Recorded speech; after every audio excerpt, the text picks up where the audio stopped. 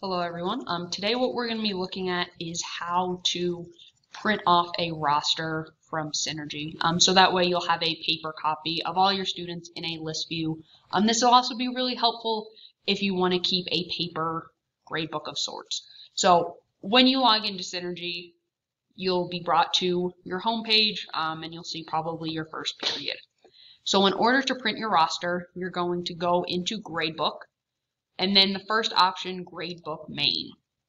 So that'll bring up a list of all your students, um, and you'll be able to see their grades right from there if you haven't yet.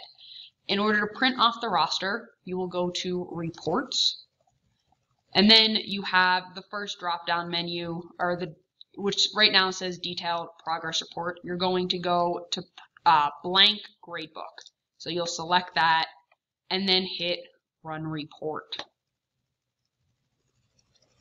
So when the report has come up, you'll get a PDF with your name, section number, and all of your students' names. Um, it'll be in a grid form, so that way you can take attendance or you can just view the roster for that class.